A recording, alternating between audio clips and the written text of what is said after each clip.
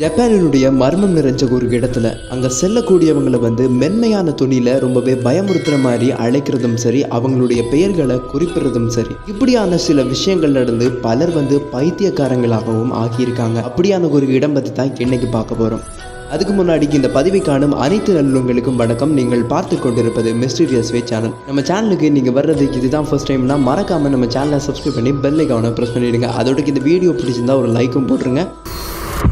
அது மட்டும் இல்லாமல் நம்ம சேனலில் இருக்கக்கூடிய எல்லா வீடியோஸையும் பார்த்து நம்ம சேனலுக்கு சப்போர்ட் பண்ணுங்கள் முடிஞ்ச வரைக்கும் நம்ம சேனலை சப்ஸ்கிரைப் பண்ணுங்கள் இப்போ வாங்க இந்த பதிவை காணலாம்.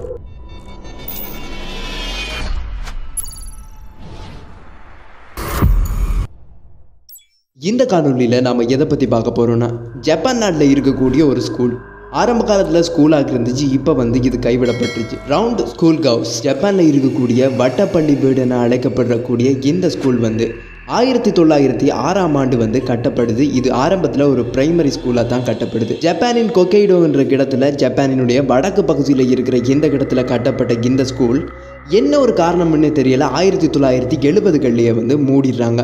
ஆயிரத்தி தொள்ளாயிரத்தி ஆறில் இந்த ஸ்கூல் கட்டப்பட்டாலும் ஆயிரத்தி தொள்ளாயிரத்தி நாற்பதில் இந்த ஸ்கூலை வந்து ஓப்பன் பண்ணி அங்கே சிறு பிள்ளைகள் அதாவது பிரைமரி ஸ்கூல்ன்றபடியாக சிறு பிள்ளைகளை வந்து படிப்பிக்கிறாங்க. அதுக்கு பிறகு ஆயிரத்தி தொள்ளாயிரத்தி எழுபதில் காரணமே சொல்லப்படாமல் இந்த ஸ்கூல் வந்து பூட்டப்படுது. இந்த ஸ்கூல் வந்து பூட்டப்பட்டதுக்கு பிறகு பார்த்தீங்கன்னா அந்த ஸ்கூலை சுற்றி உள்ள பிரதேசங்கள் எல்லாம் காடாக போகுது. இந்த ஸ்கூலும் வந்து வட்ட வடிவிலான கட்டப்பட்ட ஒரு ஸ்கூல் இந்த ஸ்கூலும் ரொம்பவே பயங்கரமாக காட்சி அளிக்குது. எல்லாமே பாலடைஞ்சு போகுது. அங்கங்கே ஆரம்பத்தில் பயன்படுத்தப்பட்ட கார்களும் சரி இந்த அறைகளும் சரி எல்லாமே பாலடைஞ்சு போய் அந்த இடத்துலையே அப்படியே இருக்குது. இங்கே வந்து யார் போனாலும் ஒரு ஆபத்தான நிகழ்வுகள் வந்து நிகழ்றதா சொல்கிறாங்க அப்படி இந்த இடத்துல என்னென்ன நிகழ்வுகள் நடந்ததுன்னு கேட்டிங்கன்னா இந்த மர்மங்கள் பேய்கள் அப்படியான விஷயத்தில் ஆர்வம் உள்ளவங்க வந்து இந்த ஒரு இடங்களை பார்க்குறதுக்கு ரொம்பவே ஆர்வமாக இருப்பாங்க அப்படி போன சிலரால் அனுபவிக்கப்பட்ட நிறைய விஷயங்கள் கஷ்டங்கள் எல்லாமே இந்த ஒரு இடத்தை சுற்றி இருந்துக்கிட்டு தான் இருக்குது அப்படி இந்த ஒரு இடத்துல என்ன அப்படி பயங்கரமான விஷயங்கள் நடக்குதுன்னு பார்த்தீங்கன்னா இதை சுற்றியுமே பயங்கரமான காடு ஆனால் அந்த காட்டுக்கு அங்கால ஒரு கிராமம் இருக்குது அங்கே இருக்கக்கூடிய உள்ளூர் வாசிகள் அந்த கிராமத்து வாசிகள் சொல்கிற விஷயங்கள்லாம் இப்போ நாங்கள் உங்களுக்கு சொல்கிறோம் சில நேரங்களில் தங்களுடைய கிராமத்தில் இருந்து இந்த ஒரு கட்டிடத்தை அதாவது இந்த பாடசாலையை அவங்க பார்க்கும்போது இந்த இடத்துல மர்மமான சில ஒலிகள் வந்து சிவப்பு நிறத்தில் தெரியறதா அவங்க சொல்கிறாங்க அது மட்டும் இல்லாமல் அந்த ஒளிகளோட சேர்ந்தே சில வித்தியாசமான அரைவாசியாக தெரியக்கூடிய நிழல்களும் பயமுறுத்தக்கூடியவாறான பெரிய அலறல் சத்தங்களும் அது மட்டும் இல்லாமல் மென்மையான ஒரு சத்தமும் அந்த மென்மைக்குள்ளும் ஒரு வன்மைகின்ற மாதிரி பயமுறுத்துகிற மாதிரியான சத்தங்களும் தங்களுக்கு கேட்டுட்டு இருக்கிறதா அவங்க சொல்கிறாங்க இப்படியான சத்தங்கள் ரொம்பவே தங்களை அலற வச்சிருக்கும்னு சொன்னாங்க. இதெல்லாம் போக அந்த ஒரு கிராமவாசிகளால் சொல்லப்படுற விஷயம் தங்களுடைய குழந்தைகள் பல பேர் வந்து அந்த ஒரு பகுதிக்கு தெரியாமல் விளையாட போய் நிறைய பேர் வந்து காணாமல் போயிருக்காங்க. இன்றை வரைக்கும் அவங்க யாருமே கிடைக்கவும் இல்லை அப்படின்னு சொல்லியிருக்காங்க.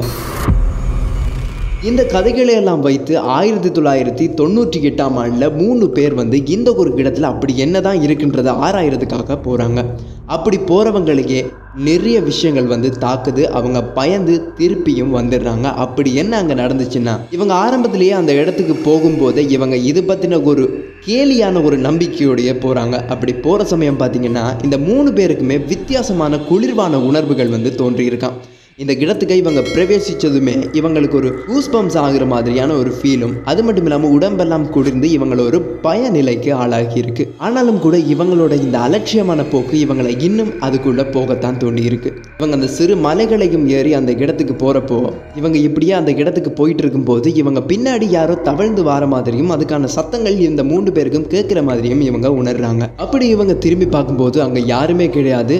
இவங்களும் சரி தங்களோட பிரம்மையாக இருக்கலாம் அப்படின்னு சொல்லிட்டு மீண்டும் வந்து அந்த இடத்தை அடையிறதுக்காக நடக்க தொடங்குறாங்க.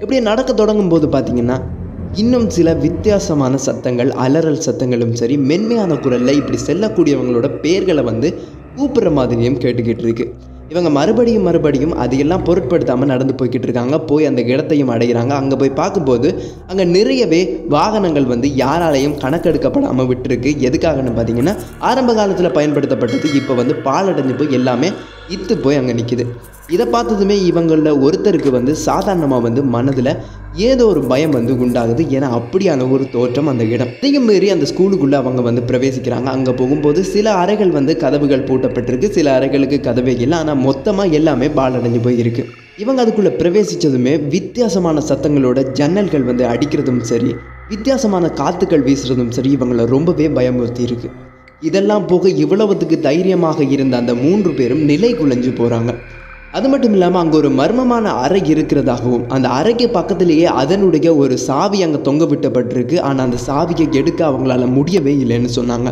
அப்படி எடுக்கிற சமயங்களில் அவங்களுக்கு ஏதோ ஒரு கருப்பு உருவம் தென்பட்டு அவங்கள தாக்கினதாகவும் சொன்னாங்க. அதுக்கப்புறம் அவங்க அங்கேருந்து வந்து அலறி அடித்து ஓடி வந்துடுறாங்க. இந்த ஒரு கதையை கேள்விப்பட்ட பின்னர் ஆயிரத்தி தொள்ளாயிரத்தி தொண்ணூற்றி எட்டுகளில் இந்த விஷயம் நடந்துச்சு. இதுக்கு பிறகு இது ஏதோ நடிப்பாக இருக்கலாம் மக்கள்கிட்ட ஏமாற்றி காசு பறிக்கிறதுக்காக இப்படி யாரும் செய்திருக்கலாம்னு சொல்லிட்டு ரெண்டாயிரம் ஆண்டில் இன்னொரு குழு வந்து பிறப்படுறாங்க அவங்க புறப்பட்டு அந்த ஒரு இடத்தை அடைஞ்சிட்டாங்க. அடைஞ்சதுக்கப்புறம் அவங்களுக்கும் அந்த மாதிரியான சில விஷயங்கள் தோன்றுது. அதுலேயும் பார்த்தீங்கன்னா இவங்களுக்கு தோன்றாத நிறைய விஷயங்கள் வந்து அவங்களால உணரப்பட்டிருக்கு. அப்படி என்னென்னா இவங்க நடந்து போகும்போது பக்கத்தில் இருக்கக்கூடிய மரங்களுக்குள்ள யாரோ கதைக்கிற மாதிரியான சத்தங்கள் வந்து இவங்களுக்கு கேட்டிருக்கு.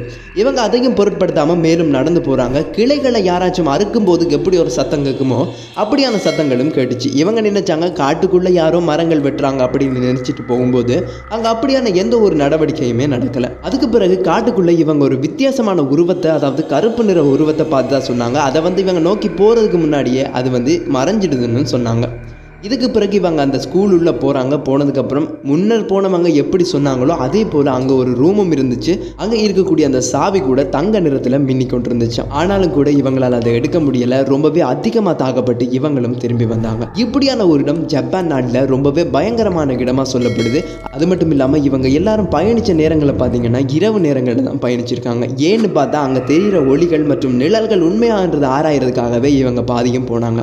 ஆனாலும் கூட இவங்களால் உணரப்பட்ட விஷயங்கள் அந்த ஒளிக்கும் சரி அந்த நிழல்களுக்கும் அப்பாற்பட்ட இன்னும் ஒரு பாரிய பயங்கரத்தை உண்டாக்குற விஷயமாவே இருந்துச்சு. இதை பற்றி பரானார்மல் ரிசர்ச்சர்ஸ் என்ன சொல்லியிருந்தாங்கன்னா எந்த ஒரு இடத்துக்கு தனியாக யாரும் போயிடாதீங்க அப்படின்னா கூட உங்களுக்கு சுற்றி பார்க்குறதுனா நிறைய இடங்கள் இருக்குது அப்படியான இடங்களுக்கு போங்க. ஜப்பான்லேயே இது ரொம்பவே பயங்கரமான இடம் அப்படின்னு சொல்லி ஜப்பான்லேயே பயங்கரமான பத்து இடங்களில் முதல் நிலையை வந்து இந்த ஒரு இடத்துக்கு கொடுத்தாங்க. இன்றும் கூட பேய் மர்மங்கள் பற்றின ஆராய்ச்சி செய்யக்கூடிய பரானார்மல் ரிசர்ச்சர்ஸ் கூட இந்த ஒரு இடத்துக்கு போகிறதுக்கு அஞ்சுக்கிட்டு தான் இருக்காங்க. இப்படியான ஒரு பயங்கரமான இடம் பற்றின உங்கள் கருத்தை கமெண்ட்ஸ் பாக்ஸில் தெரியப்படுத்துங்க. மறக்காமல் நம்ம சேனலை சப்ஸ்கிரைப் பண்ணுங்கள் மற்றும் ஒரு பயங்கரமான சுவாரஸ்யமான காணொலியுடன் சந்திக்கலாம். அது வரைக்கும் நன்றி.